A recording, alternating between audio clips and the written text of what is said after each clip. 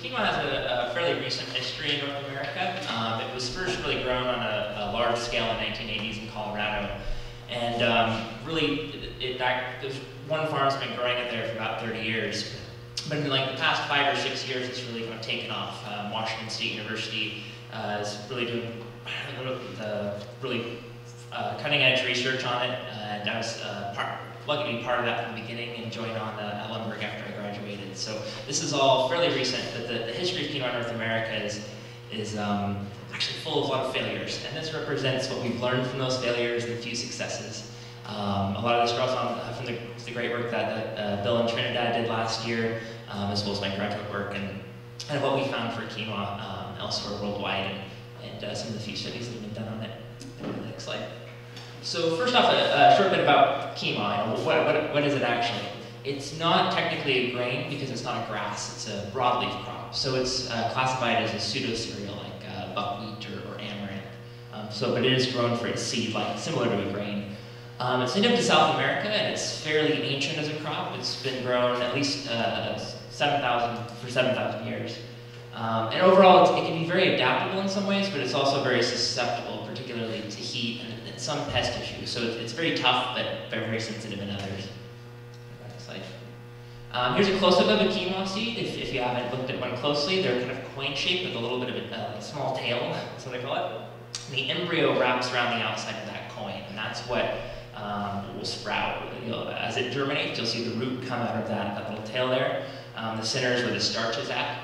Um, so that's just a, a, short bit of anatomy of the seed. The seeds are coated in what are called saponins. Um, they're a bitter compound that help keep birds away, and also mean you don't want to eat quinoa from the field if you're, if you're out there. Um, when I was a graduate, graduate student in Eastern Washington, we'd always pop, you know, developing wheat kernels in our mouths and eat them, and they're nice and sweet.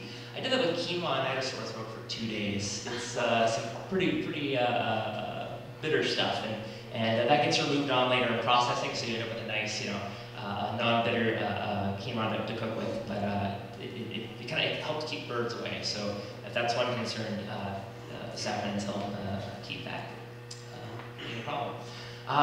with, with quinoa, variety selections, everything. So if you were to plant quinoa from the store, uh, this is one of the few places where I find it actually work in a few situations, but th they will likely fail to set seed. Um, they are, are, dependent on day length to, to flower, and, and, when you, they're growing during, during the, the long summer days here, they'll, they'll just grow really tall, like about 12 feet tall maybe, and, and, fail to flower and set seed. So you need to get a very specific subset of quinoa varieties from uh, southern Chile. Um, they're grown at a similar latitude south as we are north, and so they're, they're most adapted to growing in the United States. Um, kind of the second key thing about quinoa growing, quinoa needs cool temperatures, and that's why it does so well uh, here in coastal locations. And and out here. Um, temperatures of 95 degrees or over can sterilize the pollen, and you can end up with a, what looks like a great plant vegetatively, but there'll be no seed in it. So you need those cool temperatures for that seed set. Um, even sustained temperatures in the lower 90s can be damaging um, if it hits it at the, the, right period. It's very sensitive to, to heat stress. So it's really having it be successful is a, uh, it's crucial to have the right combination of variety, climate, and, and planting date. Uh, so here is uh, an overview of the highest temperature on average that uh, locations get um, during the year. And as you can see, you know, and, and, out here on the coast, it's quite a bit cooler because you have that ocean influence. And this is one of the reasons why quinoa grows so well. You, don't have these high temperatures in the mid to upper 90s. Um, you, you know, it, this is going to vary quite a bit as you go further inland or you have certain microclimates, so it won't, may not hold for the whole, whole coast. But uh, this, this is, you know, this is chemo land, looking at this map here. Uh, you know, for going up and down the uh, California, Oregon, Washington coast, you know, the, it's these numbers that I look for. Um, there's strong parallels between this region and where those varieties from Chile that we, we grow, um, they have almost identical climates. And on the next slide, you can really see, see that. This is uh, from the, the weather station in San Gregorio and one from Concepcion, Chile, which is kind of the heart of where those quinoa varieties from Chile come from. They have this cool uh, Mediterranean type climate. Um, you, you, have a dry period in uh, summer, late summer, which is crucial when your crop is maturing and the seed's getting done, because um, you don't want your seed getting wet, uh, so that's with any grain. Um, you have mild temperatures during the summer, so you're not going to have any sterilization. And oh, one thing that's quite nice is you don't have hard frost, so it allows you to plant earlier. So um, you really have quite a wide, wide growing season. So when, when do you want to plant quinoa? Well, there, that comes to two factors, and I, I wish I could give you a date, but it's all going to depend on your particular environment. You know, things are, are pretty variable, but um, cold temperatures is, is, the first one. You're, you're, very likely, from what I understand, to uh, not likely to get a hard frost out here, and it's probably going to be more your soil temperature. Uh, will be a constraining factor. And you want that to be at least 50 degrees Fahrenheit. Otherwise, uh, you can have um, lower germination rates. So you want your soil to be warm enough, And then the second one would be waterlogging. If you plant it before heavy rain and the, the seedlings get, get waterlogged, that can kill them off. So you want to have it, you know, your soil's warm and workable um, and, and not too wet. So you have a really wide planting window, as I mentioned. Um, and some of you may be able to plant early. Uh, driving up one, I saw some where you work. So uh, looking at this, this climate graph, I was thinking maybe mid-April, but for some of you that might be earlier when your soils are ready. Um, so that provides you with some multiple options. And I kind of foresee two, two particular ways that you could plant it and, and go with the season. Um, next slide goes over the first one. It looks like you could get a, an earlier planting and grow it dry land by planting with your seasonal rains. Um, I know the, past few years have kind of been anomalous as far as um, uh, kind of drier conditions year round. So, so this is going to vary from year to year uh, for sure. But um, it looks like, you know, early spring, if you can plant it with those rains, quinoa has a deep root that, that uh, taps into soil moisture. It, its method is to, you know, it, it, starts in the spring, and since its roots down quite deep, it actually kind of uh, uh, dampens down its shoot growth, so it stays quite small, and it's just trying to get that water. Um, and if it can reach that, then throughout the rest of the summer, it, it's fine, it, it requires no irrigation. With cool temperatures, it's actually the most drought-tolerant crops we have, so it's it's uh, quite, quite drought tolerant. Um, estimated uh, harvest time is about 120 days after you plant, although that can vary quite widely with um, your, your, uh, your growing environment. Cooler temperatures will extend that, warmer temperatures will speed that up. But that would put you a harvest date well within the drying period, so, or well within the dry period in summer, which would help with the harvest. Um, next slide. And the second one would be a, a later planting, that would require irrigation just to get the plant started if you've or past those seasonal rains, then, um, then you will need some water to get started. The advantage is you're not waiting uh, uh, for rains to come, so it allows you some control over um, uh, when, when, when it'll emerge. And, uh, I, I, think I kind of made the connection with Bill a little late, late uh, last year, so this, this, his ended up getting planted about mid-June and it finished early October. So it did work really well. Um, definitely got it before, before it rained. Um, but this could be kind of a second window if, uh, if you're looking for later planting in that fencing well. Uh, there, there, are two main planting strategies for quinoa. Uh, one is to do wide set spacing, and the other one is to broadcast. Wide set spacing is great because you can cultivate between the rows. If you have a weedy field, definitely this is what you want, what you want to do. Because quinoa, as I mentioned, stays short, uh, and weeds can easily compete with it. Uh, if you do have a, a less weedy field, you, you can broadcast it. Um, in either situation, the seed's quite small, so you need to seed it shallow. Um, if you have heavy soil, you want to uh, seed a little bit uh, more shallow, just because you can't really push through heavy soils that well. Um, and if you have a lighter soil, then you want it to be a bit deeper. And most crucially, it needs to reach moisture during the early stage. If it dries out, it, it won't come up. So kind of reaching that moisture and planting at the right depth are, are quite key. And having um, precision seeders, uh, uh if you do plant it grows is absolutely vital. So the wide spacing, um, you, you, can get by with less, uh, less seed just because you do control the depth and you can target where that, your soil moisture is. Um, so you can plant around as low as 10 pounds an acre.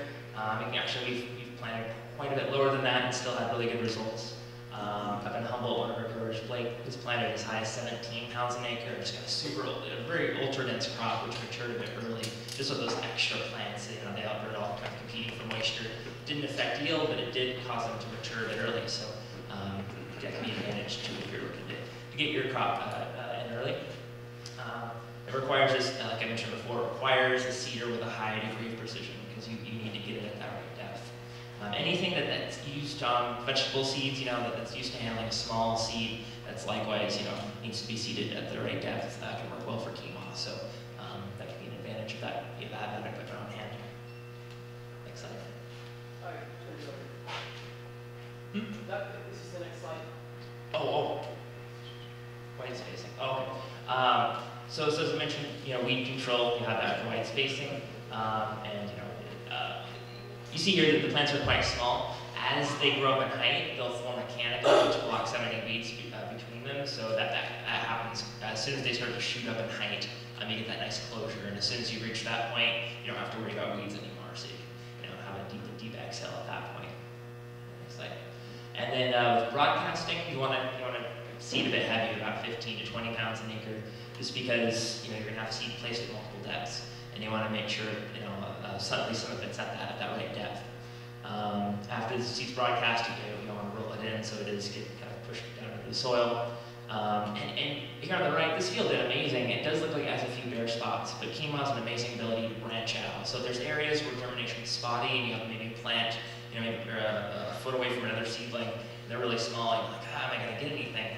Um, later in the season, you'll be amazed at just how, how widely they can branch out uh, take up space. So that's one of, one of the great things about quinoa. Um, and just, just to uh, continue on that, um, they did two experiments in Europe to see what, were the optimal densities for uh, yield, and they found they were stable, the first set of experiments, between 121,000 and 1 million plants per acre. It's almost uh, uh, 10 times, uh, and then the second round they found 430,000 to 2.2 million plants per acre yields were stable, so it didn't, didn't really matter. Um, so if, if you do have a denser stand, it's going to mature a bit earlier. Uh, if you have you know, spotty, uh, spotty germination, you're going to have larger plants, which may take a little bit longer to, to, dry out. But um, uh, as I mentioned, quinoa is slow to grow in height. Uh, stays small, focuses on building its taproot to, to get moisture. Uh, but as soon as that, that taproot's uh, uh, developed um, and it develops kind of a small reserve of leaves, you'll see a flowering bud in the middle of the, the plant. I think the next slide has a photo of that up close. Actually, the next. Oh, actually, sorry, go, go, go back to when I was at, further ahead. Um, it'll, it'll form a, a, flowering bud, and then right after that's formed, then you have rapid shoot growth, and it, it's quite amazing how quickly it, it grows up in height. Uh, next slide. Uh, a quick note on fertilization, there's not much research been done in the, in the U.S. Um, growing it in coastal locations or uh,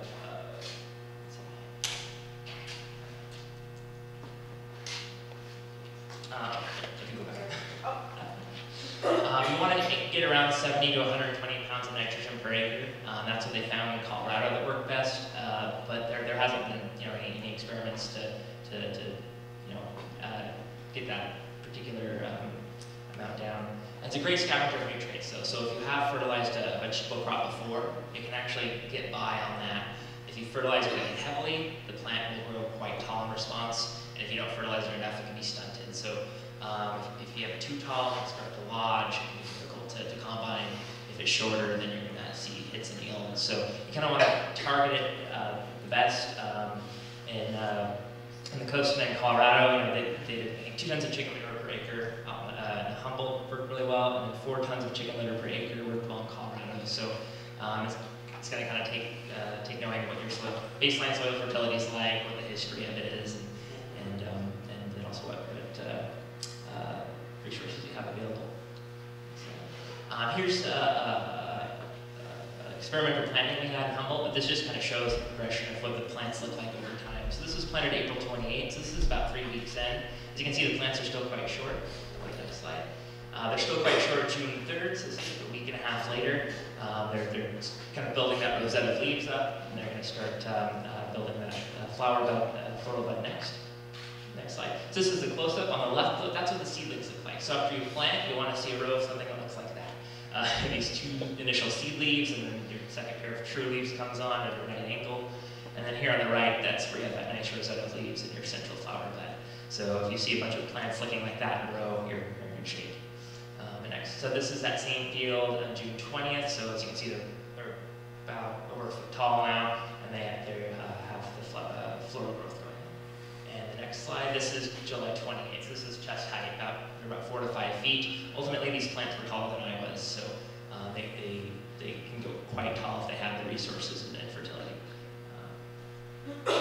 is a close-up of what flowering looks like. So here on the left, you can see it's pollinating. You see those little uh, yellow dots. The, it has, has star-shaped flowers. So you have about five, um, five stamens and five anthers on them.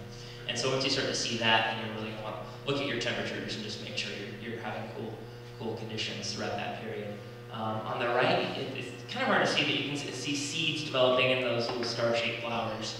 And uh, as they develop, they'll kind of push back those little sepals, and you'll uh, the, the, seeds appearing. So this is a uh, uh, multicolored varieties. There's black and brown seeds on this plant, but um, uh, the white varieties, you'll notice white seeds growing. Um, one thing I do is just continually check them to see how done they are. So I pop them out and do what I call the fingernail test. And as soon as those are hard, then your, your seed's fully mature. Uh, oh, a few, a few notes about pests to watch for. These haven't been problematic in coastal areas yet. Um, it, it, seems like when you do have heat stress, the pests can multiply quite rapidly, but um, they seem to just, just be present at low levels. Um, I know Bill released a few predators for, I think, beet armyworm and then the aphids. Those are the two that showed up out here, but they, they never really became an issue. Um, but the, the, four main pests are stem borers, aphids, lygus, and armyworms. I have photos of them, just, just something to keep an eye out for. Uh, if you do have them in plants, or you do see them in the quinoa field, like my plants here. So next slide. Uh, these are stem borers. I haven't seen these yet on the coast. We've mostly just seen them in the Sacramento Valley and up in uh, uh eastern Washington State.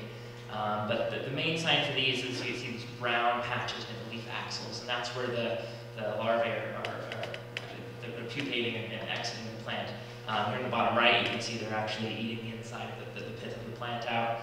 Um, and on the next slide, I think I have a photo. It causes the tops to wilt because it's taking up that vascular tissue. Um, it's losing water to the top, so that kind of destroys the ability of the plant to, to produce seed. Here on the left, you kind of get a brown If that happens later on. Um, if the, you know, the, the, flower's a bit stiffer, so it's not going to wilt, but it just, just loses some uh, connection to the top of the plant. Um, but like I, like I said, I haven't seen this on the coast yet. Next slide. Uh, lygus, Bill, did you see these anywhere? I don't remember seeing them myself. Lygus bugs, I, have actually seen them almost everywhere except here, so.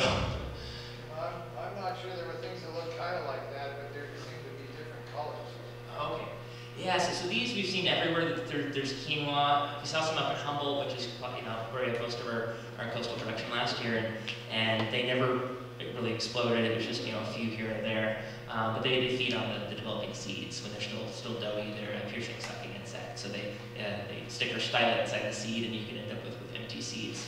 Um, if you go to the next slide, have uh, these are the nymphs. So what I do is I just take the inflorescence and kind of knock it against my hand, and, and th those young ones will come out in your hand, and you can really see how, you know, uh, how, how, many young ones you have and what you might expect. But um, yeah, these, these generally just need heat to, to really get going. Uh, aphids, there's two types. I think uh, Billy saw the leaf roller aphid here, so those are kind of on the underneath. So if you see, especially towards the bottom of the plant, they, they just curl under, and if you uncurl them, you'll see these that uh, they, they call them pseudogalls. Um, ladybugs are great control for them, and if you don't have them naturally, you know, you can certainly supply them. But uh, uh, you know, quinoa fields have quite a bit of ladybugs in them, uh, just, just, from my experience. Um, and then the other aphid would be the one pictured here, a black bean aphid. Um, they cause kind of the plant to dehydrate, um, and you can also have some quality issues with the, the honeydew. Um, I haven't these also problematic levels at um, coastal locations. And then armyworms. Uh, I have seen these in Humboldt at a later planting date. And Bill saw, I think, Bill uh, uh, Trinidad saw these, um, I think, I forget exactly when, but they, they feed on the developing flower bud, which you want to keep intact, you know, if, if you're going to have seed production. So they can be pretty damaging. I think if you planted them earlier, you, you'd escape them. From what I understand about their cycle, they're from Southern California, and they kind of make their way north because they're not, uh, uh, because they're frost sensitive. So as soon as temperatures start to uh, warm up, they, they start to migrate north. Um, so I, would say if, if, you don't have later planting, you'll have some protection against these. Uh, and then also downy mildew, this also isn't a problem, but if you do notice some splotchiness on your leaves, that's uh, downy mildew. It's kind of present on all the seeds, on the, on the weedy relatives of quinoa, so you can't, can't escape it. But it hasn't been problematic in the west coast of North America because we have, or west coast of the United States, because we have dry summers. Um, even with the fog, it doesn't seem to be an issue. We really need warm, humid conditions.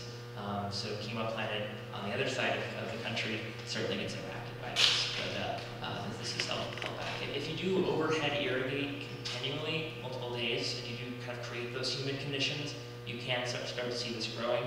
Um, but uh, if you feel out to dry out in between, then you, you uh, uh, uh, reduce that possibility. Um, and then as far as maturity too, so, so, so your plants are growing up in height. The next stage is, is of course maturity. They're going to set seed, and as they mature, they start to turn some quite brilliant colors. And it all depends on the variety. So the one up on the, the upper right is cherry vanilla. That one turns this deep cherry color. Um, it's, it's really quite quite astounding. Uh, it really depends on the variety. We have another called Oro de Valle, which turns this rich gold color. And we have a multicolor mix that turns all sorts of shades of the rainbow. So um, visually striking. Um, once the seeds finish maturing, and, and I think I mentioned before, can do the fingernail test if it's hard between your fingernails and you're just waiting for the plant material to dry down. That stays wet while the seed is done. So what you're really looking for is for the plant to turn a tan color, for that, that color to then go away, and for the, the, the leaves to get crispy and dry down and get fully senesced. Uh, when that's the case, then you can go through the combine and direct harvest it.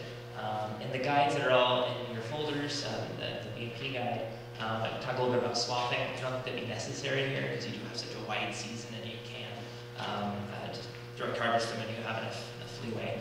But uh, that, that's, uh, uh, yeah, that- that's a photograph bottom right of, uh, of Bill's cherry dome cropping uh, combine. So that's kind of what it looks like when, when it's ready to, to be, be harvested. And next slide. As far as uh, combines, any combine that's used for small grains can be used for quinoa, so you just need to get smaller screens, make sure your fans aren't up too high because it is a small seed and you can blow quinoa out the back as my first research project in grad school uh, was. Uh, so make sure everything's dialed up right. Um, uh, and also, if you do use a combine that has a, a that's been used on small grains, you want to make sure that you get all the wheat or barley or whatever crop was there previously because it is a gluten crop. So just from a quality perspective, you want to make sure you don't have any of that growing in your field as a cover crop that might come up with your quinoa or that's present in the combine that might be um, stuck in any uh, uh, that, that might be in the um, comment. So yeah, so next slide. I think that's the last one. Thanks for listening. Also thanks to Bill Cook and, and Trinidad for, you know, uh, taking care of it. I, I learned so much from them about how quinoa does here. It's always different in different places, so um, it's it's really enlightening, and I appreciate the opportunity to see how it does in each, each location. I think we're holding questions for the end, so